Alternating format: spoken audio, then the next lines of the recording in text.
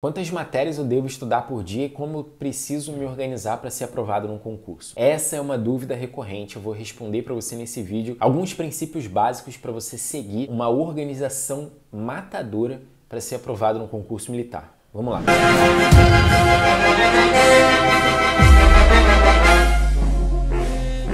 Me chamo Danilo Cacavo, sou capitão de infantaria e hoje aqui dentro do Elite 1000, minha missão é ajudar você criar alta performance nos estudos para ser aprovado. E nesse vídeo a gente vai falar sobre como você deve basicamente se organizar. Não vou falar para você, olha, estude matemática segunda, física na terça, química na quinta, nada disso. Você vai fazer o seu próprio roteiro de estudos, tá bom?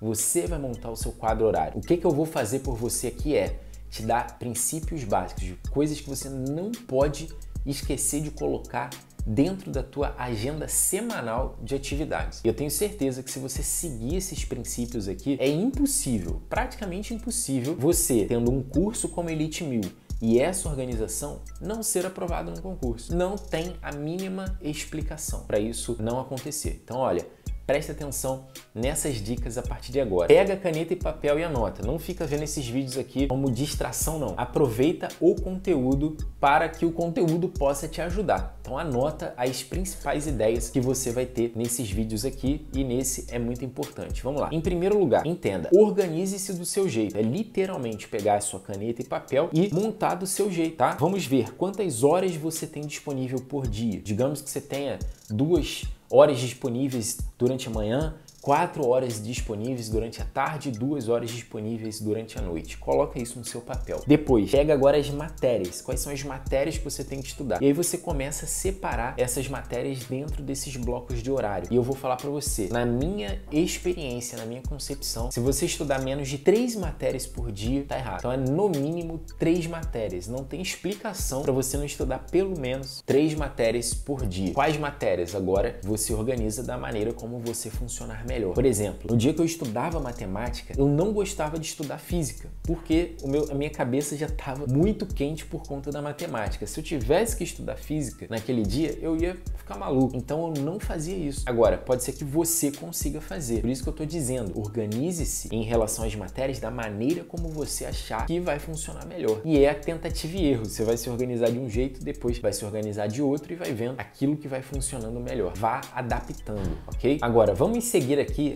essas regras básicas para você não se esquecer de fazer durante a tua semana. Primeira delas, registre aí, reserve, melhor dizendo, um horário para você toda semana fazer uma redação. Você precisa treinar a redação. Muitos são eliminados dos concursos militares porque estudam muito bem as outras matérias e deixam a redação para depois. Negativo, redação é treino. Inclusive aqui dentro do Elite 1000, você pode comprar aqui o método de redação 10x, que vai ajudar você a organizar, a estruturar por blocos uma redação pronta para passar no concurso militar. Próxima regra aqui, ó. Toda semana reserve também um horário para você fazer um simulado ou provas anteriores. Eu fazia todos os sábados de manhã. Eu ficava das 8 até, até meio-dia fazendo alguma prova, algum simulado, treinando como se o dia da prova fosse, que é outro erro que muitos de vocês cometem.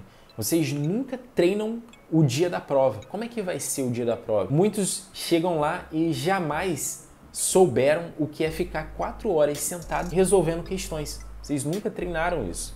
E se você nunca treinou, como que você espera ir bem naquele dia? Não faz o menor sentido. Então você tem que treinar o dia do combate. O dia do combate exatamente como ele vai ser. Então todo sábado de manhã ensaie o dia da prova. Pegue um simulado, provas anteriores, provas de outros concursos semelhantes e faça a mesma coisa que você vai fazer no dia do concurso. Próxima dica: todas as matérias precisam ser estudadas todas as semanas. Ou seja, se você, por exemplo, no intervalo de uma semana não estudar português, tá errado. Em algum momento dentro da tua agenda semanal, você tem que ter visto a matéria português.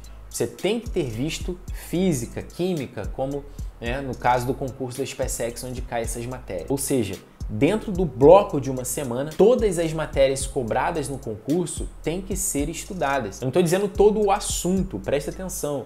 Eu estou dizendo todas as matérias. E é dessa maneira que você vai tendo uma progressão dentro desses assuntos. Por exemplo, geografia. Você vai toda semana continuando a estudar os assuntos de geografia. Português, toda semana você está continuando a evolução dos conteúdos de português e por aí vai, tá bom? Próxima, anota aí. Estudar não é ver aula. Você não pode ficar aqui num vídeo vendo aula a vida toda. Estudar é anotar, é resumir, é praticar.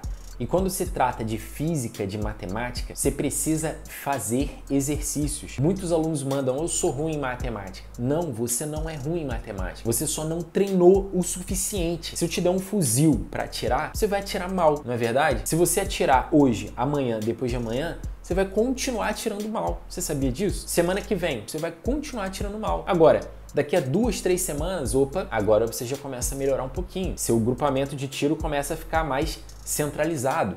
E isso vale para qualquer habilidade que a gente vá criar na nossa vida. Se você é ruim em matemática, significa que você treinou pouco matemática. Para e olha, de verdade, você acha que você fez o suficiente para ser bom naquilo? E quando eu pergunto isso, a maioria das respostas é: não, capitão, realmente não fiz. Pois é, então não tem mistério. Faça muito até você ficar bom. Então, matemática e física é só isso que você precisa fazer. Para de ficar vendo só aula e esperando que aquela ideia entre na sua cabeça só por estar assistindo um vídeo. Não vai entrar. É preciso praticar, ok? E por último, coloque esse básico em prática. Tem muita gente querendo coisas mirabolantes, mas não faz o básico, aquilo que é o comum, que todo mundo deveria fazer. Então, antes de buscar coisas mais complexas, faça o arroz com feijão que eu acabei de te passar, combinado? E se esse vídeo ajudou você, já não esquece aí ó, de deixar o seu like e de se inscrever para receber mais conteúdos assim. Aqui no Elite Mil, ninguém fica para trás, hein? Um forte abraço, a gente se vê.